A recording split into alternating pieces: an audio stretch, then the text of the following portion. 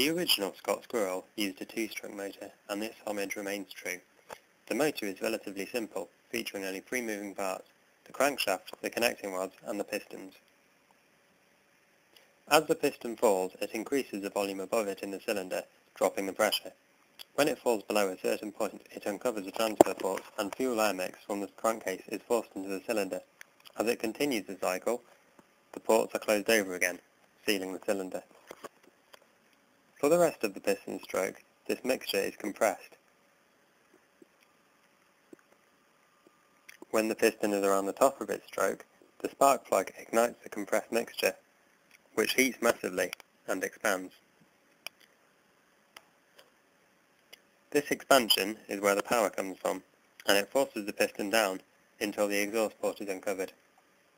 The high pressure of the ignited mixture causes it mostly to force itself into the lower pressure of the exhaust, and milliseconds later the transfer ports will open again, this rush of the new mixture exhausting virtually all the remainder.